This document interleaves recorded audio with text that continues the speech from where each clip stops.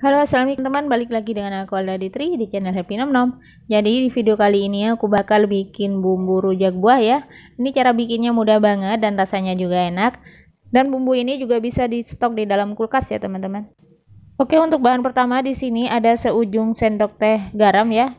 Nggak sampai seperempat tapi seujung.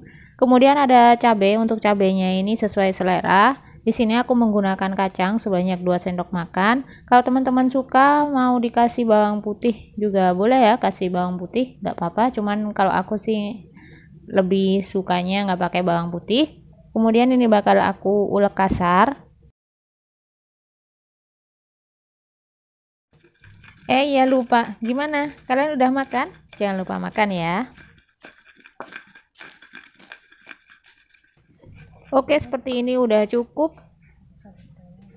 Selanjutnya aku bakal kasih asam jawa. Ya ini boleh teman-teman rendam dulu di air terus diambil airnya. Cuman kalau aku pribadi lebih suka yang langsung dimasukin kayak gini ya. Ini udah tanpa biji. Dan kalau misalnya nanti ini kemakan gitu ya teman-teman pas kita makan rujaknya itu rasanya enak banget Nah itu alasannya kenapa aku kalau bikin bumbu rujak itu asamnya aku pasang utuh. Kemudian di sini aku menggunakan gula merah ya teman-teman ini sebanyak 100 gram. Ini bakal aku potong-potong dulu agar lebih mudah pas nguleknya.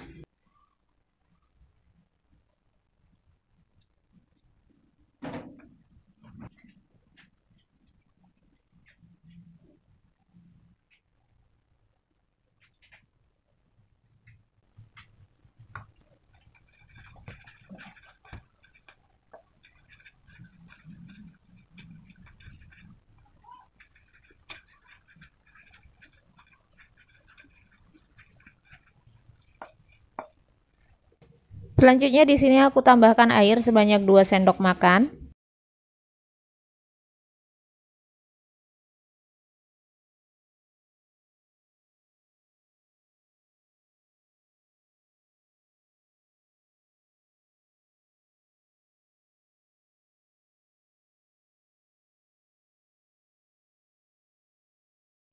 Nah ini dia bumbu rujak buahnya udah jadi kalau misalnya teman-teman mau bumbunya ini lebih encer, boleh ditambahkan satu sendok makan air lagi ya. Cuman kalau aku pribadi lebih suka yang agak kental seperti ini.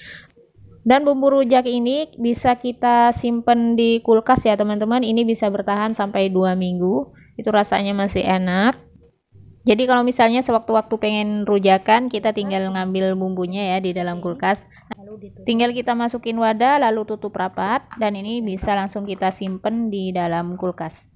Kalau misalnya teman-teman bikin bumbunya dalam porsi banyak, tinggal dikalikan aja ya untuk resepnya. Oke, terima kasih udah nonton. Semoga videonya bermanfaat and see you on next video. Bye-bye.